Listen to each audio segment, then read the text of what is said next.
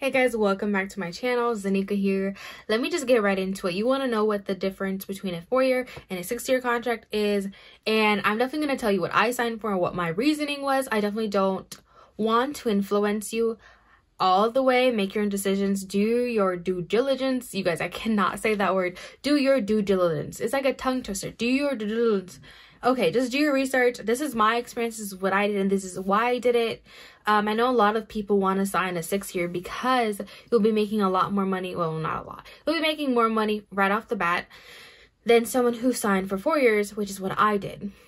Um, but I just want to let you know that, te- like, technically, you're only making about a thousand dollars more because you're you're giving more time. You're giving about two years extra compared to someone who signs for four. Someone who signs for four, you'll be making about 1600 when you go in. And someone who signs for three, you're making about 2000 right away. But then your paycheck never changes. You, I think it goes up by like $300 after a few years. Versus Airman Basic, you go make E1 within six months. You go up to 1800 then you make E3 and within I think another four months. So it's not that slow. it's about a year and a half, I think.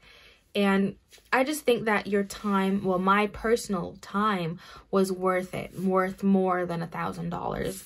That that was just my personal opinion. I think a lot of people think to themselves, okay, well, I'm gonna stay in for the 20 years. I just want, you know, and what I've read is that only about 20 to 25% people stay in for the actual 20 years. So I would just recommend giving yourself that grace to see do I actually like this job? I know that like the title sounds cool, but is a day to day something I'm going to actually enjoy?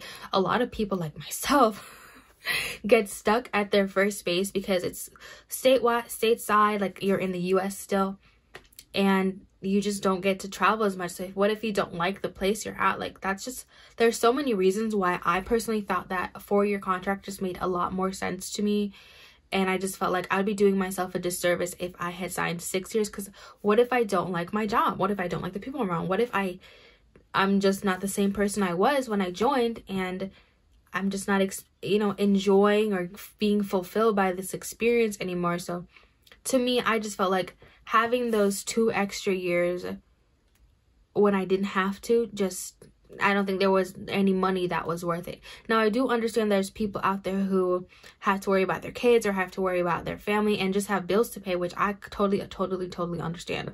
But you got to think about it in the future. Like, what is your plan when you leave the military? Because eventually you will leave, whether you're going to be retiring or you're going to be separating. Um, after those four or six or 20 years.